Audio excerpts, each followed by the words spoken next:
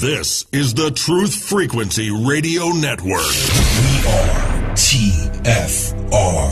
Truth Frequency Radio. I would remind you that extremism in the defense of liberty is no vice.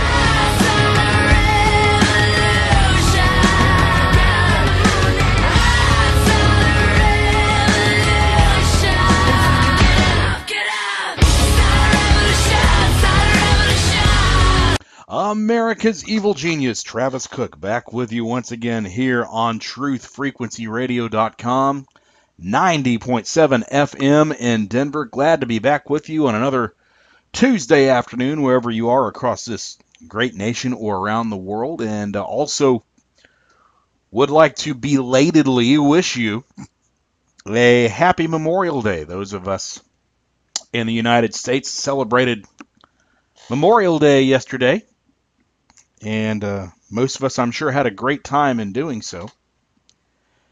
And I suppose it's something that is uh, genuinely American about us. That we in our nation and we in our, cult- our culture have a tendency to lose sight of the real meaning of our holidays. We're always up to celebrate. We're always up to have a good time for practically any excuse. But man, when it comes to our most important holidays, we, we seem to we seem to take our eye off the ball a little bit and forget awfully quick why we're cel- celebrating them and, and, and what the bloody point is. You think to Christmas, you know, and we get all wrapped up in presents, so to speak, and parties and all kinds of events that go on and all of these things and the hustle and the bustle and the travel and the getting the gifts and paying for them and wrapping them and taking them here and there and getting certain members of the family here and certain members over there and you go through all of that. And pretty quickly uh, we have a tendency at christmas time to forget that we're celebrating the birth of our lord and savior jesus christ.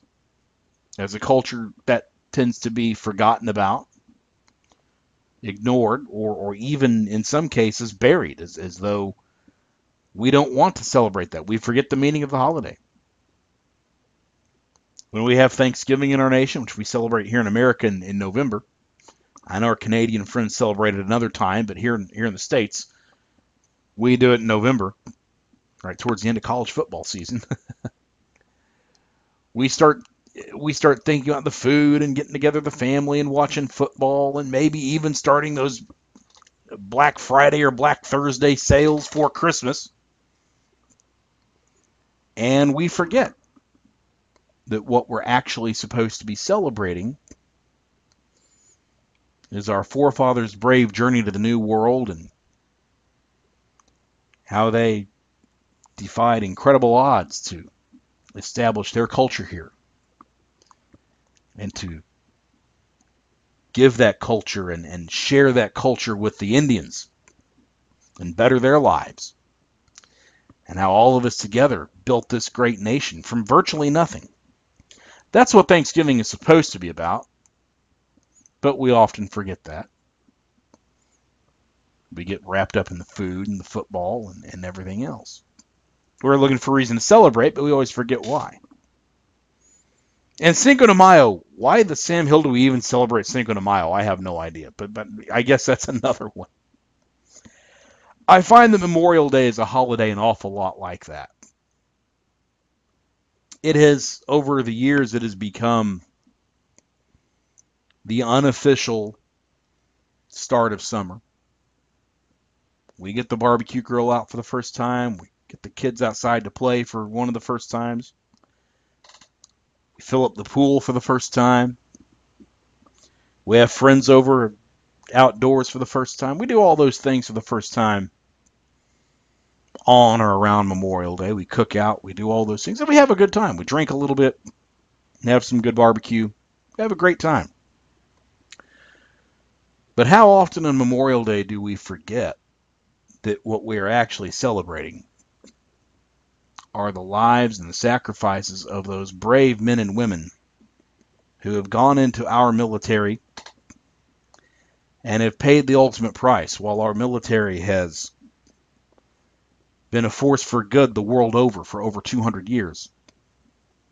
While our military has overcome insurmountable odds all over the world to move forth this great American culture and way of life so that every corner of the globe can see it and experience it. And a lot of people have made an ultimate sacrifice for that. And Memorial Day yesterday was supposed to be a day in which we do not allow those lives to have been sacrificed in vain. It is supposed to be a day that we remember these people and, and how they made our country great, why they made our country great, how they protected us, and how they put forth the greatness that is America, the exceptionalism that is America, and have put it forth through the world so that everybody might benefit. We often forget that. We often forget, be it Memorial Day or any other day, we often forget that without our military, without our Army, our Marines, our Navy, our Air Force, without our armed forces, this nation would be nothing. This nation would be a sitting duck. We could not be the most free country in the world. We could not be the most prosperous country in the world. We could not be the proverbial shining city on a hill that all of the downtrodden and the rest of the world come to to make a life for themselves. We could not be that. We would never have had the opportunity. So it's on days like this that we should think of our military and, and praise them and, and reflect on what it means for what they've done. And as we do that, I, I look back now at something we've talked about on this program a few times the what we call around here the presidential battle royal where everybody's throwing their hat into the ring for this 2016 presidential race and over the last couple of weeks there has been a question that a lot of liberal journalists and even some even some not so liberal journalists have put towards the Republican presidential candidates regarding the military, regarding the actions of our military, regarding our decisions with the military within the last decade and a half or so. And it has been a question that has been problematic, I suppose, for some candidates in their efforts to be everything to everyone, in their efforts to say what they mean but not sound controversial, lest they lose the nomination, lest they lose a vote. It is the question of was invading Iraq a mistake? Simple question, it would seem like. But when it has been posed to Republican presidential candidates over the last couple of weeks, it has become problematic. It has resulted in some flip flops. It has resulted in candidates in front of a microphone doing more dancing around than a Britney Spears backup dancer. Often leading to some very confusing exchanges and confusing answers, and at the end of the segment, you're just not really sure what the candidate said. I've got a brief montage here to show you what I'm talking about. I've got three clips here. The first two are of Jeb Bush, a man who is allegedly the Republican Party frontrunner, even though I can't seem to find a Republican anywhere who wants to vote for him, but we're told he's a frontrunner. It's two clips, one of which where Bush says that going into Iraq was the right thing to do, and then another one right after it where he says it was not. And then the third and final clip I have here is Marco Rubio in an exchange recently with Fox News, uh, Fox News Sunday reporter Chris Wallace, or anchor Chris Wallace, I guess, where Wallace tries to catch him up in that little argument. So here are two clips from Jeb Bush one clip from Marco Rubio demonstrating to you how problematic the question of Iraq is for the current crop of GOP presidential candidates. On the subject of Iraq, yep. obviously very controversial, knowing what we know now, would you have authorized the invasion? I would have, and so so would have Hillary Clinton, just to remind everybody, and so would have almost everybody that was confronted with the intelligence they got. Knowing what we know now, what would you have done? I would have not engaged, I would not have gone into Iraq. Senator, isn't that a flip? Six weeks ago, It made sense to invade Iraq in 2003. Now you say it was a mistake. No, they're two different questions. It was not a mistake. The president, based on this is the way the real world works. The president, based on the information that was provided. But she was to saying him, based Yeah, but on the please, information. uh, no, no, but look, there's She was di- saying based on the inf- what we know now. Well, based on what we know now, a lot of them. Based on what we know now, I wouldn't have, you know, thought Manny Pacquiao was going to beat uh, in that in, in that fight a couple I know, but weeks you, ago. you because were asked the was- same question, and you said it no, it was not sense. the same. No, it was not the same question. Okay, so there you've heard some flip flops. There you've heard some dancing around. There you've heard some splitting of hairs from these two candidates. And I'm not singling out strictly Jeb Bush and Marco Rubio. There have been other candidates recently who have uh, answered these questions in similar ways. Uh, I, I used Bush and Rubio out of convenience. They were the easiest audio to get, but they have not been alone on this by any stretch. But the answers to these questions to me demonstrate the disgusting side, if you will, of politics to me. Because to me, both of these men and, and the others whom we did not take the time to, to put their audio on the air, these candidates who are trying to dance around this question and answer it in a way that will please everybody, they're missing the point. They're taking what should be a very simple issue and turning it into an unnecessarily complex one. They're taking what should be a very obvious and easy answer and making more of it than it really is, making the proverbial mountain out of a molehill, making a meal of it, as our friends across the pond in England might say. Taking something that should be an obvious answer and making it far more complex than it need be, as not to offend anybody. Well, in case you are considering the question of should we have gone into Iraq knowing what we do know today, I will give you momentarily the correct answer to that question. Now, I would preface this by saying and reminding you as I've told you from day one since I've been on Truth Frequency Radio. And for those of you who have followed me longer on the old YouTube America's Evil Genius show, the archives of which are still available at youtube.com slash America's Evil Geniuses. I've told you even from the days of that show, I am not a politician and I never intend on being one. I will never come on to this radio show or I will never go on to a commercial or I will never go on to television, or I will never go on to the internet and ask you for your vote. That will never happen. I'm not that guy. I'm the guy who's here to teach and explain and to demonstrate. I am not the guy who's here to kowtow to anyone. Point of that is, I do not have any incentive to tell you what you want to hear. The incentive I have is to tell you the truth. Whether you're comfortable with the truth or not is somewhat irrelevant. It is not a concern to me. I come out here to give you the news of the day and to interpret for you the major events of our time truthfully, honestly, and with clear headedness and a clear vision, whether you like it or not. That's what I do. I tell you that to set up the fact that since I'm not asking for your vote, since I'm not asking you for a donation, since I'm not asking you to donate money to my non existent presidential campaign, since I'm not asking you to put out yard signs for me, since I'm not asking you to go door to door and ask people to vote for me, then in effect, I do not have to kiss up to you. And if your preconceived notions about any particular issue happen to be wrong, happen to be incorrect, I do not bear the burden of constructing an answer to a question for you that will make you comfortable. Instead, if you're wrong, I can call you out on being wrong.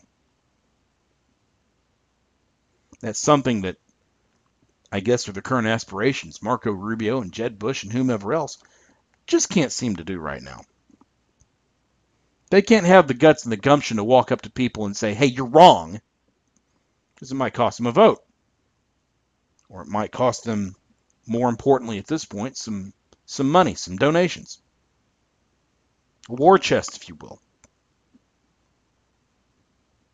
So now that you see that my perspective in this situation, my dog in the hunt, if you will, is different than those you are hearing from, perhaps you will better understand my answer to the question of knowing what we know now, should we have gone into Iraq? Because my answer to the question is this. Knowing what we know now, hell yes, we should have gone into Iraq. In fact, I would not go so far as these politicians and these reporters and journalists are going and putting all kinds of caveats onto the question or caveats onto the answer of well knowing what we knowing what we knew then we should have but knowing what we know now we shouldn't have no no no i'm not going to split hairs that way because to me there are no qualifiers for it knowing what we knew in 2001 yes we should have gone into iraq but knowing what we know today in 2015 yes we still should have gone in to iraq we did nothing wrong.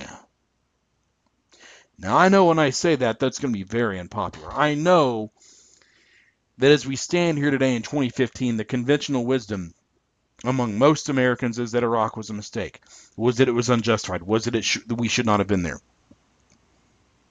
Well, I'm here to tell you the conventional wisdom, and yes, even the opinion of the majority of the American people in 2015, even the, Amer- the majority of the American people on this issue are wrong. They are incorrect. And they must be called on the carpet for it. They must be re educated.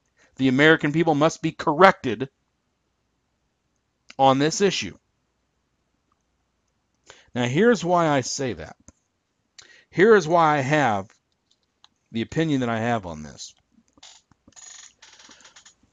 The first thing that so many opponents of the Iraq War will tell you today is that it was sold to us in terms of weapons of mass destruction. And since we supposedly never found weapons of mass destruction, that completely implodes and destroys the credibility for the war. That's the mistake. That's the big mistake, as far as a lot of people say. And it's true, the American media spent so much time and effort and energy beating the drum that supposedly there were no weapons of mass destruction.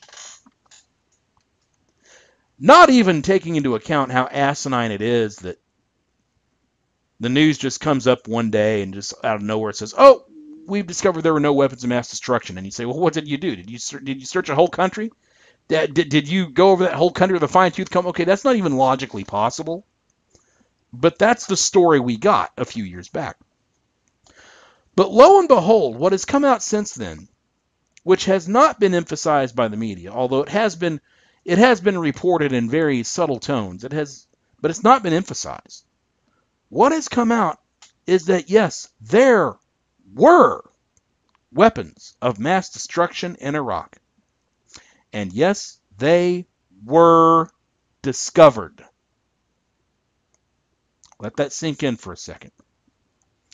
Those of you who are running around saying there were no WMDs, you are wrong. There were WMDs. The supposedly flawed intelligence we had at the time turned out to be correct.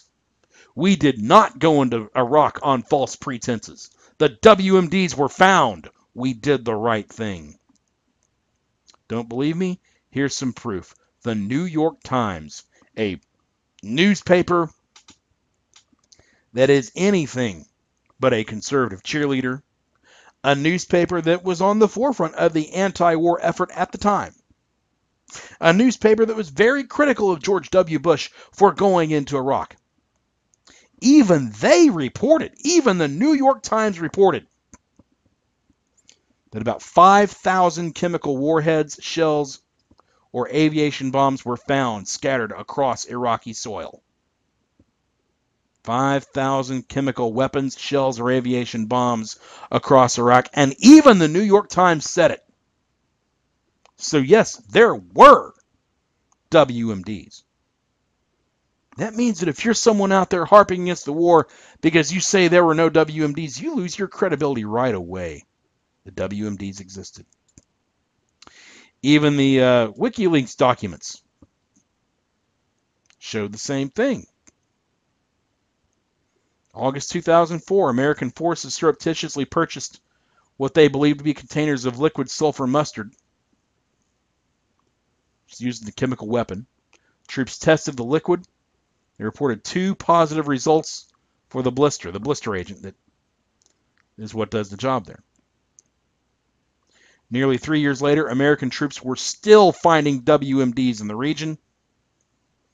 An armored Buffalo vehicle unearthed a cache of artillery shells that were covered by sacks and leaves under the Iraqi Community Watch checkpoint. The 155 millimeter rounds are filled with an unknown liquid, and several of which are leaking a black tar like substance. Initial tests were inconclusive, but later the rounds tested positive for mustard. Hey, look, more proof of WMDs. From New York Magazine, between 2004 and 2011, American troops and Iraqi police officers repeatedly found chemical weapons produced by Saddam Hussein's regime before 1991 and at least 17 U.S. service members were wounded by deteriorating shells filled with nerve and mustard agents. The men suffered burns, severe blisters, respiratory problems, and other long lasting health problems. But the U.S. government prevented the troops from receiving medical care and refused to recognize that they had been wounded in the line of duty. To make matters worse, ISIS now controls the area where most of the weapons were found. So not only were there WMDs, and that's been proven, but our current enemies today may very well have a hold of them. So the WMDs existed. They were real. And while it's true that the intelligence that we went to war off of was flawed to some degree, and all intelligence is flawed to some degree, you know, no intelligence is perfect. You know, in military endeavors, just as in the rest of life, you cannot make decisions on complete information. We very rarely do that in any aspect of life you have to go to you have to make decisions in your life based on what information is available and how credible it is.